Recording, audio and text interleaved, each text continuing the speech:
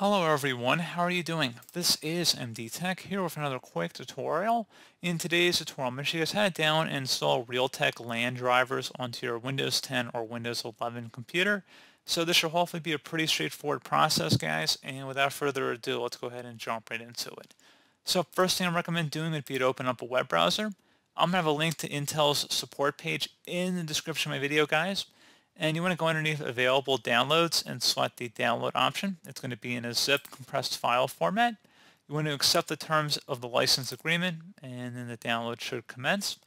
Once it's done downloading to your system, go ahead and open up that folder and then you can go ahead and go in the install folder here and select the setup application, double click on it and select yes if you receive a user account control prompt and then go along with the on-screen prompts and that should pretty much be about it.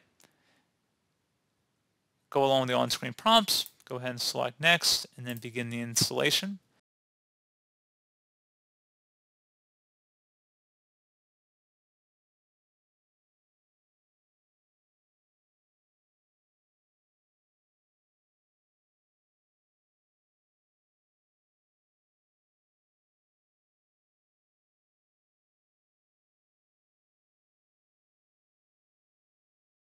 So I don't actually have a Realtek network controller on this system, but if you did, it would continue here seamlessly. So you just would continue on and then you would select finish. And that's pretty much it, guys. So as always, thank you for watching this brief tutorial. Do hope I was able to help you out, and I do look forward to catching you all in the next tutorial. Goodbye.